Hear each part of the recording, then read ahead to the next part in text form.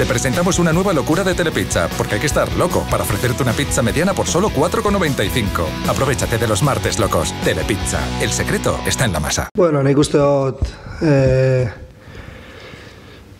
bueno, ekipuke lan hon baten bala, gaina jakin ba, lehenengoko partidu de etxetik kanpo eh, aurreko urtitan ez dela hon ekipu bape ondo, eta bueno, atzo uste dut eh, partido politxe bota gendule, euki gendule gaur aukerak, eta bueno, ba, lehenengoko partidu izateko, etxetik kanpo gaina dut morun, ba, nik uste dut eh, partido positibo izan zela eta da partido politxo bota gendule.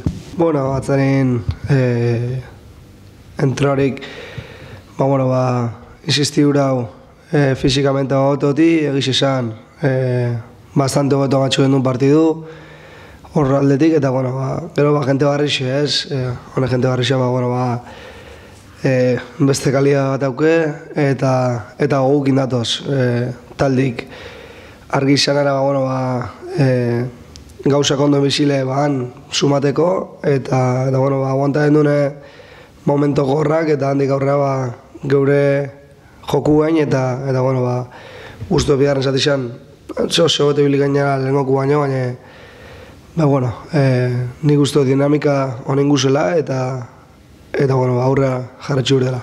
Ez ondo, e, bigarren partidura jokatzen egana beraz, eta eta giz esan guztua, e, eta bueno, ba, lehenengo partizateko giz esan, ba, ondo bilinean, e, alkar entendiu, eta, eta bueno, zanin ustot, defentzan importanti alkar ondo sautzite entendiu direla.